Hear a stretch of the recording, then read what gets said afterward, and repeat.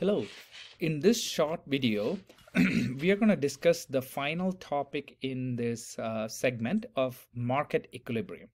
Now, we have looked in the past on how to think about quantity demanded and also quantity supplied. Now, we bring those two concepts together to discuss the very important idea of a market equilibrium. So at this point, the two curves should be familiar to you, right? The quantity demanded slopes downwards and the sup quantity supplied uh, slopes upward, the one in red. So point number one here is at the point where the price, sorry, the quantity demanded and quantity supplies meet, that is the market equilibrium price and quantity, which is PE and QE, okay? So stick with that for a second here. And let's let's start thinking about what this means in practical reality. So if you were running a pizza shop um, and you know the quantity demanded, the curve of quantity demanded at various prices, right? And you are familiar with what the quantity supplied is going to be at uh, various prices. What I am saying is there is a point where you will maximize your profit and that is the market equilibrium price and quantity. Okay? The easiest way to think about this is what happens if you slip from that equilibrium? Two scenarios here. Okay? Scenario number one. Okay?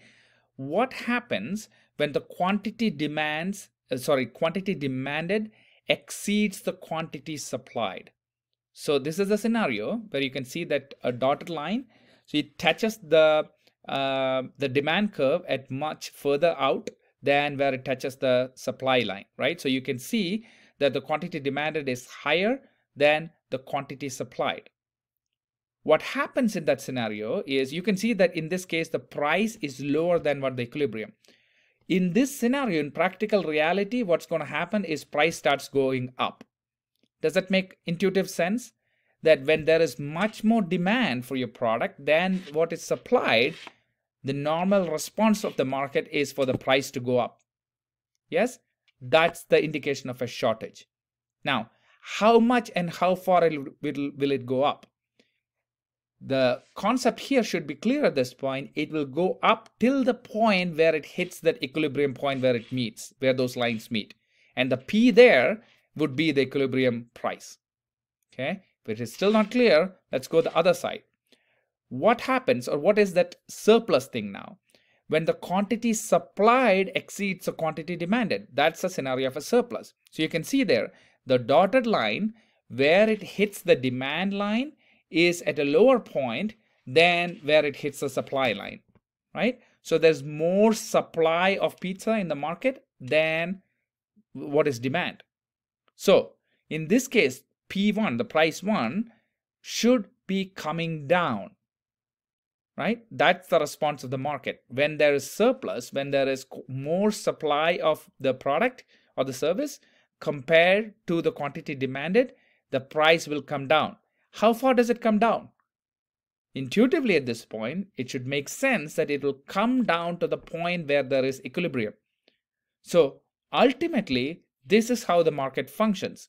It is a constant battle between supply and demand to find that equilibrium price.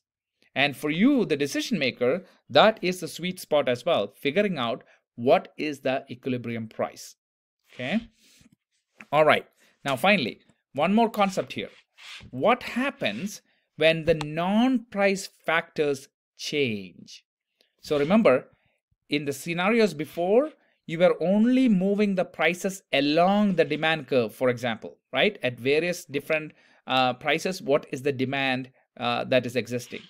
In this case, when the non-price factors change, what happens, right? In this case, the S, the supply curve itself will shift and that will create a new equilibrium price and quantity.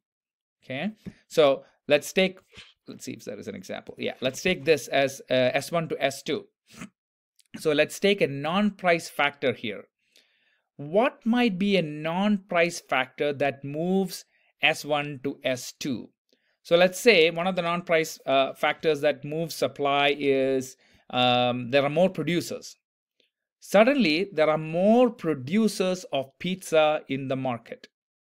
Okay, that has nothing to do with the um, uh, the indicators of what happens in the one supply curve. It just happens that there are more suppliers now, right? Increased number of suppliers in the market. So S1 moves to S2. What happens to the equilibrium price in that scenario? Equilibrium price comes down. Make sense? This is the scenario where the equilibrium price itself changes. When the non-price factors change, the equilibrium price changes. In this case, it went down. It could go in multiple directions depending on whether it's the demand curve or the supply curve it's moving and which direction it's moving. Okay. Um, and then this takes it one notch above. In the earlier slide, we looked at just the supply curve moving. In this case, both demand curve and supply curve moving. This get to the gets to the ultimate complexity of uh, supply and demand and equilibrium. The constant search for the equilibrium price when both supply and demand are dynamic and non-price factors are impacting both supply and demand.